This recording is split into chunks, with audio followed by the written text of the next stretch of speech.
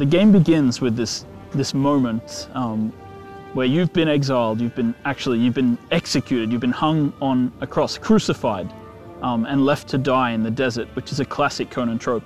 And as you hang there, there's a sandstorm, and from the sandstorm emerges Conan the Barbarian, vital, strong, and he he walks towards you out of the wasteland and he chops you down, and then he frees you from the nails and he hands you his axe and he says, "Now it's your turn.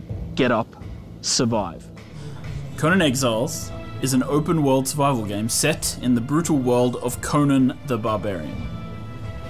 Survival in this universe means foraging for food, hunting creatures, fighting your enemies, and finding ways to defeat the elements. This is very much a player built world.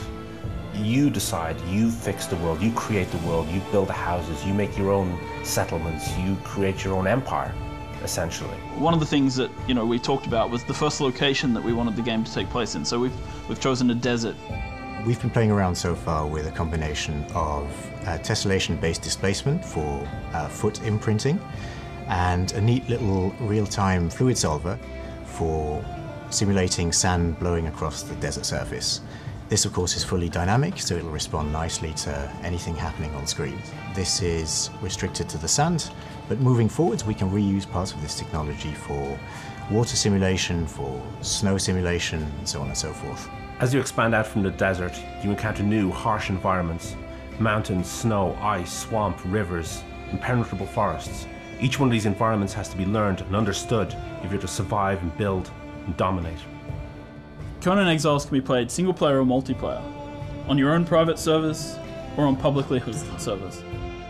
So when we decided to do a game in the Conan universe, we immediately discussed combat because that's the first thing that comes to people's mind when they think of Conan the Barbarian. They think of brutal, bloody combat. In the game, when you hit somebody, you see you do damage. You see you leave a mark upon the other player. You see heads coming off, you see arms coming off, you see blood, you see gore, you see dents in armor. These are the things we're aiming for. This is what we want to achieve in this game. Players in Conan Exiles start with nothing and they have to build themselves up to something great. And so the first thing that they'll do is find shelter from the elements. And the second thing that they'll do is build a community. And hopefully, by the end of their time, they'll have built themselves a kingdom.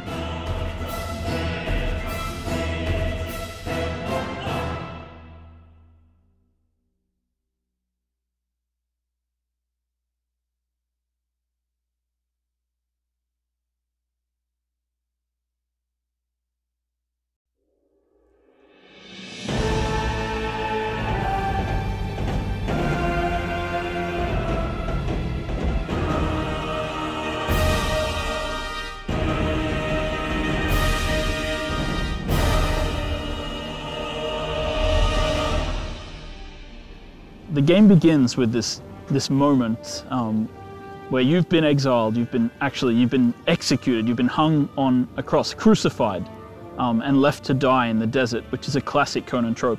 And as you hang there, there's a sandstorm, and from the sandstorm emerges Conan the Barbarian, vital, strong, and he he walks towards you out of the wasteland and he chops you down, and then he frees you from the nails and he hands you his axe and he says, now it's your turn.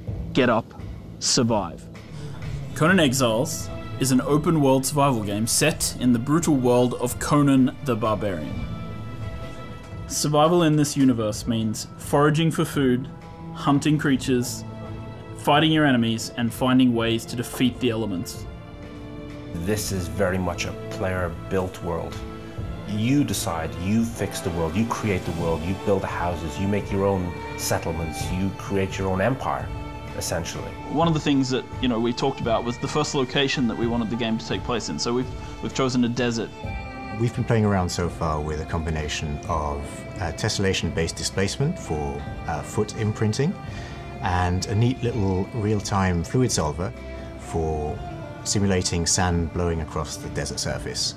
This, of course, is fully dynamic, so it'll respond nicely to anything happening on screen.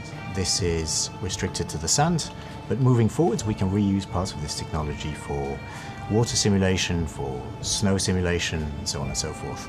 As you expand out from the desert, you encounter new, harsh environments mountains, snow, ice, swamp, rivers, impenetrable forests. Each one of these environments has to be learned and understood if you're to survive and build and dominate. Conan Exiles can be played single player or multiplayer, on your own private servers or on publicly hosted servers. So when we decided to do a game in the Conan universe, we immediately discussed combat because that's the first thing that comes to people's mind when they think of Conan the Barbarian. They think of brutal, bloody combat. In the game, when you hit somebody, you see you do damage. You see you leave a mark upon the other player. You see heads coming off, you see arms coming off, you see blood, you see gore, you see dents in armor.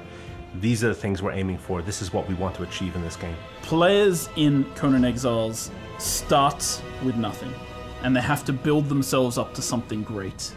And so the first thing that they'll do is find shelter from the elements. And the